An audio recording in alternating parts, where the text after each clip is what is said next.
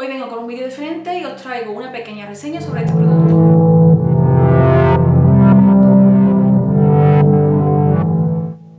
Bien, pues como habéis visto es el contorno de ojos de la marca Skin Food, una marca de productos de cosmética coreana y sí, es el tan famoso contorno de ojos que comparan con el de Kiehl's. Yo no lo puedo comparar con el de Kiehl's porque no lo he probado, ni siquiera he tenido ninguna muestra, así que os voy a dar mi opinión sobre este contorno de ojos. Es un producto que compré por eBay, lo tengo hace bastante tiempo, lo que pasa es que como tenía otros contornos de ojos que tenía que gastar, pues lo tenía siempre aparcado en el cajón esperando pues la oportunidad para, para darle uso.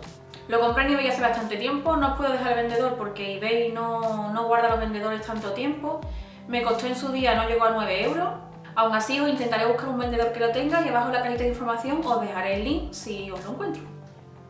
Bueno, para mi punto de vista, para mi opinión, creo que tiene un packaging bastante atractivo. Lo único que creo que no es un packaging práctico, ya que al ser todo el producto, digamos, al aire, pues creo que es un producto un poco antihigiénico. Pienso que al abrirlo se pueden quedar pegadas las motitas de polvo, después está todo el producto al aire, es un producto que tenemos que manipular totalmente con el dedo y bueno, creo que no es precisamente lo que se dice higiénico.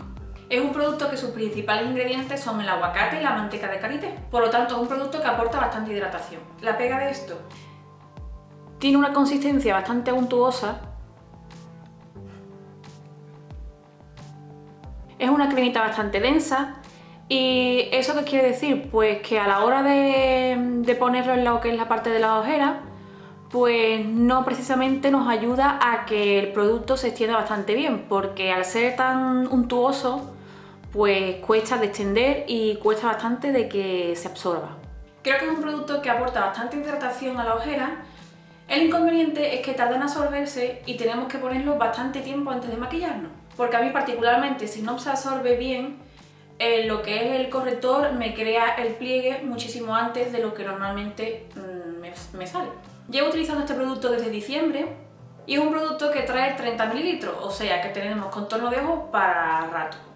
Creo que es un producto al que solo le podemos pedir hidratación. Tiene un olor bastante agradable, por lo menos para mi opinión, es un olor muy suave y como floral. La marca Skinfood no creo que sea una marca de bajo coste, pero por lo menos tiene unos precios medios que podemos permitirnoslo. No tengo pensamiento de repetir con él, lo gastaré porque, bueno, porque es un producto que ya tengo en uso, que tampoco es que me disguste en exceso. Utilizándolo, pues como ya he dicho, bastante tiempo antes de maquillarme, pues me va relativamente bien, por lo menos para la, hidratación de la ojera. La conclusión es que no voy a repetir, prefiero seguir buscando un producto que se adapte mejor a mi contorno de ojo. Si alguna me quiere decir qué contorno de ojo está utilizando actualmente, porque así me dais ideas para cuando termine este.